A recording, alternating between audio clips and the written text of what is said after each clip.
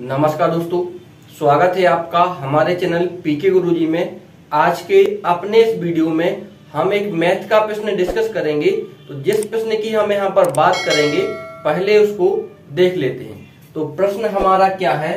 प्रश्न है कि किसी धनराशि पर 10 प्रतिशत प्रति वर्ष की दर से दो वर्ष का साधारण और चक्रवृद्धि ब्याज के बीच अंतर पैंसठ रुपए है तो वह धनराशि क्या है?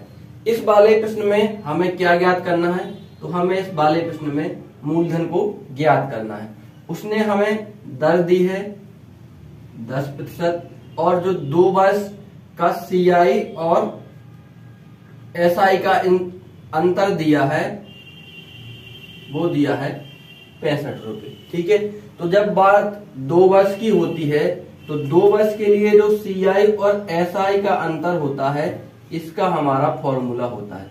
क्या होता है? मूलधन दर बटे सौ का स्क्वायर। ठीक है? तो दो वर्ष का कंपाउंड इंटरेस्ट और सिंपल इंटरेस्ट का अंतर है पैंसठ रुपए। मूलधन हमें निकालना है। दर है दस भागे सौ इसका स्क्वायर। डिवाइड कर देंगे। तो पैंसठ इक्वल पी गुड़े दस का स्क्वायर होगा तो सौ। यहाँ गुणा हो जाएगा तो P इक्वल पैंसठ सौ रुपये। ठीक है? तो आपको इस तरीके से ऐसे प्रश्नों में मूलधन को निकाल लेना है।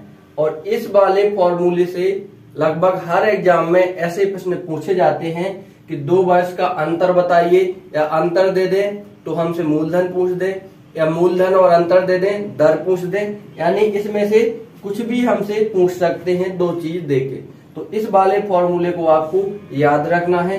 दो वर्ष के चक्रवृद्धि और साधारण ब्याज का अंतर बराबर मूलधन दर भागे सौ का स्क्वायर। ठीक है?